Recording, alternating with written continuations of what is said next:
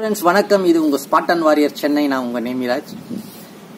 இன்னைக்கு ஒரு ஸ்பெஷலான வீடியோ ஒன்று பார்ப்போம். ஆக்சுவலாக என்னன்னு பார்த்தீங்கன்னா இது ஒரு அவேர்னஸாக கூட நீங்கள் எடுத்துக்கலாம். இந்த ப பெட்டைங்களை வந்து இந்த வாட்ஸ்அப் குரூப்பில் ஃபேஸ்புக் குரூப்பில் பார்த்து வாங்குறவங்களுக்கு இது ஒரு அவேர்னஸ் வீடியோவாக இருக்கும். ஒரு அனுபவமாகவும் இருக்கும். இன்னைக்கு நம்ம முள்ளுப்பட்டையை பற்றி தான் பார்க்க போகிறோம் முள்ளுப்பட்டையை எப்படி பார்த்து வாங்கணும்? முள்ளுப்பட்டை எப்படி இருக்கும் முள் இருக்கிறதெல்லாம் முள்ளுப்பட்டை கிடையாது. ஸோ என்னடா இவர் இப்படி சொல்கிறாரு முள் இருந்தால் தானே அது முள்ளுப்பட்டை. ஆக்சுவலாக பார்த்தீங்கன்னா அதை பற்றி நம்ம ஃபுல் டீட்டெயில் இன்றைக்கி பார்ப்போம் இந்த நிறைய பேர் இந்த குரூப்பில் பெட்டைங்களை வாங்குறாங்க ஃபோட்டோவை பார்த்து வாங்குறாங்க வீடியோ பார்த்து வாங்குறாங்க. ஸோ பர்டிகுலராக இந்த முள்ளுப்பட்டையை ஏன் பழங்காலத்தில் சோக்காலிங்க பார்த்தீங்கன்னா அதிகமாக வச்சிடல நிறைய பேர் அதை வந்து வளர்க்க மாட்டாங்க. ஒரு சிலர் வந்து வச்சுருப்பாங்க. பர்டிகுலரான ஆளுங்க வச்சுருப்பாங்க.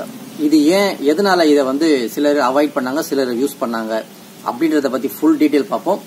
அதுக்கு முன்னாடி நம்ம சேனலில் ஃபர்ஸ்ட் டைம் பார்க்குறீங்கன்னா சப்ஸ்கிரைப் பண்ணிக்கோங்க. பக்கத்தில் இருக்கிற பெல் ஐக்கானை கிளிக் பண்ணிக்கோங்க. மூணு ஆப்ஷன் வரும். அதில் ஆல்றதை கிளிக் பண்ணிட்டீங்கன்னா நான் போடுற வீடியோ எல்லாமே உங்களுக்கு நோட்டிஃபிகேஷன் வரும். வாங்க வீடியோக்குள்ளே போவோம்.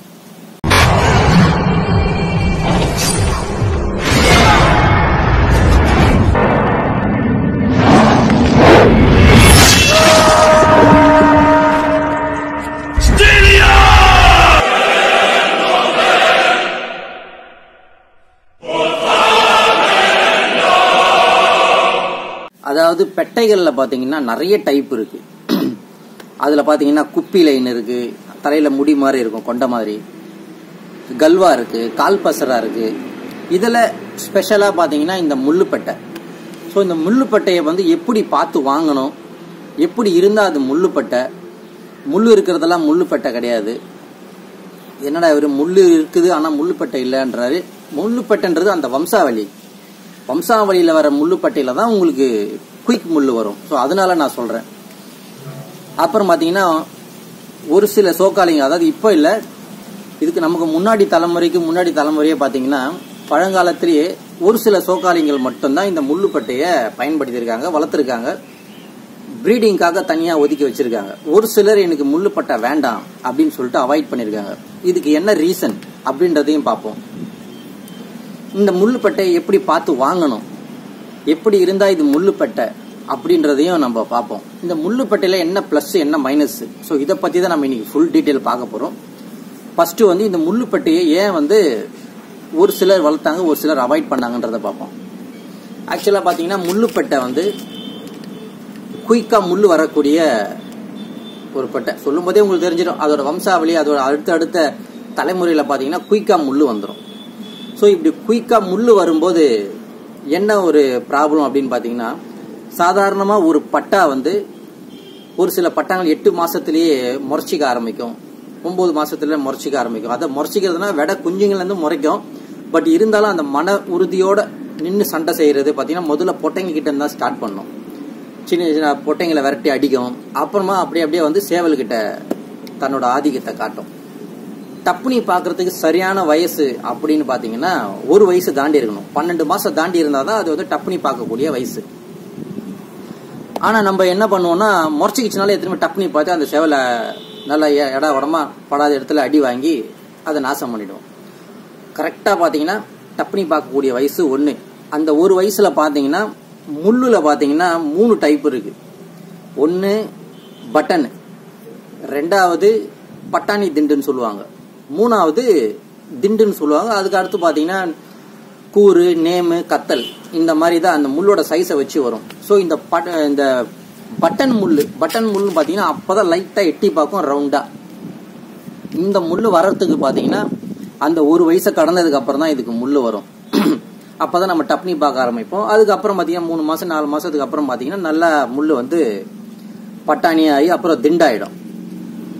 ஸோ இந்த முள்ளு பொட்டியில் இறங்குற விடைங்கள் பார்த்தீங்கன்னா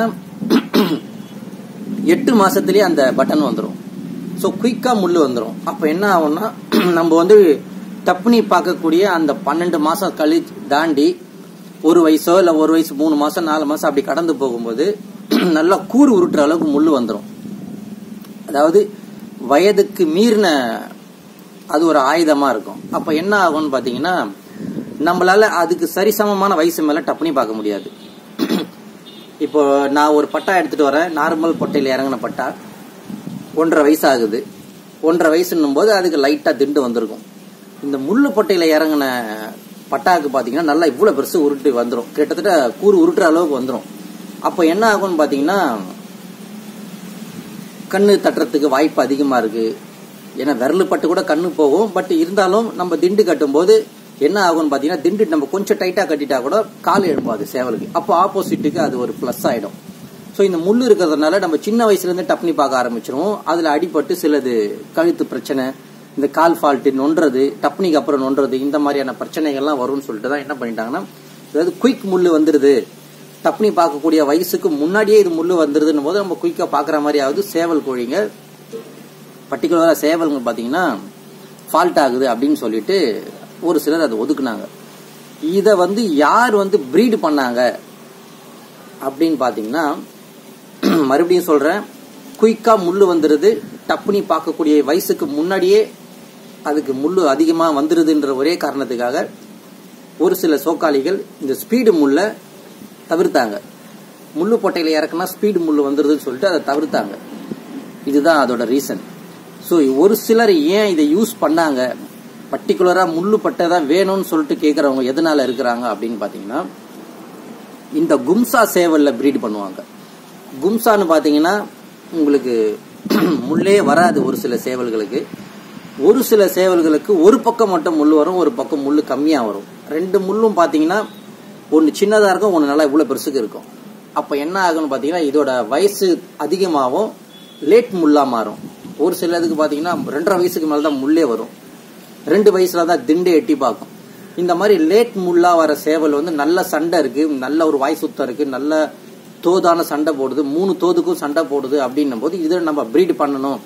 ஆனா வந்து லேட் முள்ளா வருது நமக்கு கொஞ்சம் முள்ளு கரெக்டான ஏஜில் வரணும் அப்படின்னு நினைக்கிறவங்க இந்த முள்ளுப்பட்டைய வந்து வாங்கி சேர்த்தாங்க. சேர்க்கும் போது என்ன ஆகும்னா அந்த பட்டாங்களுக்கு தாய் வழியும் தகப்பன் வழியும் கலந்து வரும் ஒரு சில விடைங்க. அந்த பேட்சிலே பார்த்தீங்கன்னா தகப்ப மாதிரி கும்சால வர்றதும் இருக்குது. தாய் மாதிரி முள்ளு பட்டையிலையும் வர்றதும் இருக்குது. இது ரெண்டுத்துக்கும் உடஞ்சி ரெண்டுமே கலந்தா மாதிரி ஒரு சில சேவல் கோழிகள் வரும். அதுங்களுக்கு சீரான முள் கரெக்டான முள் கரெக்டான வயசுக்கேற்ற முள் முள்ளு வரும். அதுக்காக தான் பார்த்தீங்கன்னா மற்றதை கழிச்சிட்டு இந்த சீராக வர்றத இவங்க வச்சு சண்டை விடுவாங்க. இதுதான் வந்து இந்த முள்ளு பட்டைக்கான மேட்ச் பண்ணுறதுக்கு கும்சாக்காக மட்டுமே இந்த லேட் முள்ளுக்காக மட்டுமே கும்சான்றது சுத்தமாக முள் வராத கும்சாவும் இருக்குது லேட்டாக முள் வர அழுத்தமான சேவல்களும் இருக்குது. அது வந்து லேட் முள்ளுன்னு சொல்லுவாங்க. இந்த மாதிரி சேவல்களுக்கு மட்டுமே ப்ரீடு பண்ணுறதுக்காக இந்த முள்ளுப்பட்டைகளை யூஸ் பண்ணாங்க. இதுதான் இதோட ரீசன் ஸோ இந்த முள்ளுப்பட்டைகளை வாங்குறது எப்படி அப்படின்றத பார்ப்போம். ஏற்கனவே நான் சொல்லியிருந்தேன் முள் இருக்கிறதெல்லாம் முள்ளுப்பட்டை கிடையாது அப்படின்னு சொல்லிட்டு. இப்போ நம்ம வீட்டிலே ஒரு முள்ளுப்பட்டை இருக்குது. ஆனால் பார்த்தீங்கன்னா என்னோட வம்சாவளியில் முள் பட்டையே கிடையாது. ஆனால் இந்த பட்டைக்கு முள் வந்திருக்குது. அப்படின்னு பார்க்கும்போது இப்போ ஒரு ரீசண்டாக நான் ஒரு குரூப்பில் அப்டேட் பண்ணேன். எனக்கு வந்து முள்ளு பட்டை தேவைப்படுது. யாருக்கிட்டையாவது விற்பனைக்கு இருந்தால் சொல்லுங்கள் அப்படின்னு சொல்லிட்டு. அப்போ என்ன ஆச்சுன்னு பார்த்தீங்கன்னா லைனாக டக்கு டக்கு டக்கு டக்குன்னு ஒரு பத்து பேர் போட்டாங்க. இந்த பத்துமே முள்ளுப்பட்டையே கிடையாது. ஆனால் முள் இருக்குது. நான் சொன்னேன் இல்லைங்க எனக்கு இந்த மாதிரி வேண்டாம். எனக்கு அந்த மாதிரி வேணும். இப்படி மாற்றி மாற்றி நான் கேட்கும்போது அவங்க அதுக்கப்புறம் எனக்கு ரிப்ளை பண்ணலை. நானும் விட்டுட்டேன். ஆக்சுவலாக ரிப்ளை அவங்க பண்ண மாட்டாங்கன்னு தெரிஞ்சால் நான் அந்த மாதிரி நிறைய கொஸ்டின்ஸ் அதில் கேட்டேன். விட்டுட்டாங்க. அதில் ஒருத்தர் மட்டும் என் கூட வாக்குவாதம் பண்ணார். இதுதாங்க முள்ளுப்பட்டை ஓல்டு லைன் முள்ளுப்பட்டை. இது இப்படி அது அப்படி அப்படி நிறைய எக்ஸ்பிளைன் பண்ணார். ஆக்சுவலாக பார்த்தீங்கன்னா அவருக்கு நான் நிறைய கேட்டதுக்கப்புறம் ஒரு கட்டத்தில் அவரும் அப்படியே ஸ்டாப் ஆகி கோபப்பட்டு போயிட்டார். ஆக்சுவலாக முள்ளுப்பட்டை பார்த்தீங்கன்னா ரெண்டு பக்கமும் முள் சரிசமமாக நீளமாக சேவலுக்கு எப்படி இந்தந்த வயசில் திண்டு பட்டாணி திண்டு அந்த கூறு நேமு கத்தல் இந்த மாதிரி எப்படி வருதோ அதே மாதிரி சீராக அந்த பெட்டைக்கும் முள் வரும். ஆக்சுவலாக பார்த்தீங்கன்னா சேவல் முள்ளோட பெட்டை முள் ரொம்ப அழகாக இருக்கும். நல்லா அப்படி பேரி முள் மாதிரி இப்படி வளைஞ்சு இப்படி போட்டுக்கிட்டு நல்லா ஷார்ப்பாக ஸ்ட்ரைட்டாக சூப்பராக இருக்கும். நடக்கும்போது சில கால் சிக்கிற மாதிரிலாம் இருக்கும் பெட்டைங்களுக்கு. அதுக்குன்னே கால் அகலமாக வச்சு நடக்கிற பெட்டைங்கள்லாம் இருக்குது இந்த மாதிரியான பெட்டைகள் தான் பார்த்தீங்கன்னா ஒரிஜினலான ஜீனில் வரக்கூடிய முள்ளு பட்டைங்க. இந்த மாதிரி பட்டைகளை எடுத்து நீங்கள் கும்சால ப்ரீட் பண்ணால் மட்டும்தான் உங்களுக்கு கரெக்டான அந்த முள் ஏஜில் இருக்கிற வரக்கூடிய அந்த சேவல்கள் கிடைக்கும். அப்போது மற்ற பெட்டைகள்லாம் முள்ளு பெட்டை இல்லையா அப்படின்னு கேட்டிங்கன்னா ஒரு சில பெட்டைகள் இந்த விஷயத்த நல்லா நை மைண்டில் வச்சுக்கோங்க. ஒரு சில பெட்டைகள் ஏஜ் பாராச்சுன்னா எப்படி முட்டையை தன்னால் நிறுத்துதோ அதே மாதிரி ஒரு சில ஏஜுக்கு அப்புறம் ரொம்ப அழுத்தமான பெட்டைங்க ரொம்ப கால்சியம் சத்து நிறைஞ்ச பெட்டைங்க. என்ன பண்ணும் அப்படின்னா ரொம்ப கால் கெப்பாசிட்டி இருக்கிற பெட்டைங்க என்ன பண்ணோம்னா ரொம்ப பவர்ஃபுல்லாக அடிக்கக்கூடிய பவர்ஃபுல் ஷாட்டாக அடிக்கக்கூடிய அந்த டென்சிட்டி போனோட டென்சிட்டி உள்ள ஒரு பெட்டைகள் என்ன பண்ணோம்னா முழு தள்ளிடும் வெளியே. ஒரு குறிப்பிட்ட ஏஜ் மூணு வயசுக்கு ரெண்டரை வயசு மூணு வயசு தாண்டும் போது என்ன ஆகும்னா அந்த காலில் இருக்கக்கூடிய கால்சியம் கெப்பாசிட்டி இன்க்ரீஸ் ஆக ஆக என்ன ஆகும்னா முள்ளாக வெளியே வந்துடும் அது முள் எப்படி வரும்னு பார்த்தீங்கன்னா இந்த அரை இன்ச்சுக்கு மேலே வளராது. ரெண்டு சைடுமே அரை இன்ச்சில் கரெக்டான சைஸில் வரும். அதுக்கு மேலே வளராது அந்த முள் ஒரு சில பெட்டைகளுக்கு ஒரு பக்கம் மட்டும் முள் வரும் ஒரு பக்கம் முள் வராது. இதுதான் வந்து நார்மலாக எது அது அந்த ஜீனில் இல்லாமல் திடீர்னு வரக்கூடிய முள் இது வந்ததுமே நம்ம என்ன நினைச்சிருவோம்னா இது வந்து முள்ளுப்பட்டை அப்படின்னு சொல்லிட்டு கூடுதலா ஒரு ஆயிரம் ரூபாய் வச்சு விற்க ஆரம்பிச்சிடுறாங்க. இந்த மாதிரி பெட்டைகளை வாங்கி ஏமாறாதீங்க. இதை இப்போ ரீசெண்டாக சில சோகாலிங்களே பண்ணுறாங்க அது அவங்க தெரிஞ்சு பண்ணுறாங்களா இல்லை முள் இருக்கிறதுனால நான் ஏமாந்து வாங்கிடுவாங்க அப்படின்னு சொல்லிட்டு பண்ணுறாங்களான்னு எனக்கு தெரியல.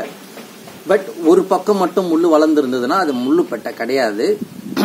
அது வந்து அந்த காலோட கெப்பாசிட்டினால கால்சியம் சத்தோட என்ன சொல்றது டென்சிட்டியோட இன்க்ரீஸ் உங்களுக்கு அந்த முள்ளு வெளியே தள்ளும்.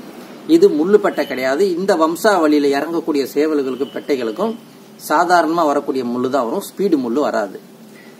அதே மாதிரி ரெண்டுமே அரை அரை இன்ச்சு இவ்வளவுதான் இருக்கும் முள்ளு.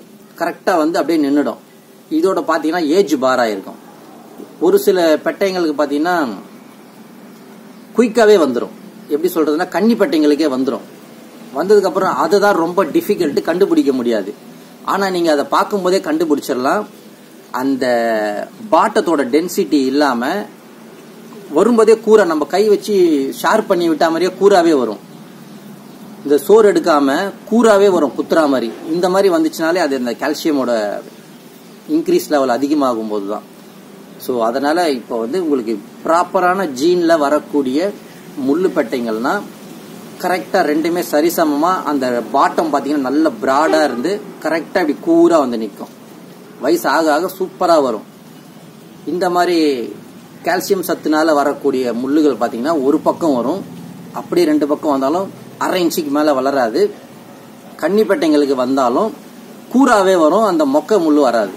ஸோ இதை பார்த்து நீங்கள் முள்ளுப்பட்டியை வாங்குங்க. இன்கேஸ் உங்ககிட்ட கும்சா இருந்ததுன்னா ப்ரீட் பண்ணுறதுக்கு ஏன்னா என்கிட்ட நிறைய வாக்குவாதம் பண்ணாங்க. அதுக்கப்புறம் நான் அதோட டீட்டெயில் சொல்லும் போது அவங்களே ஓடிட்டாங்க.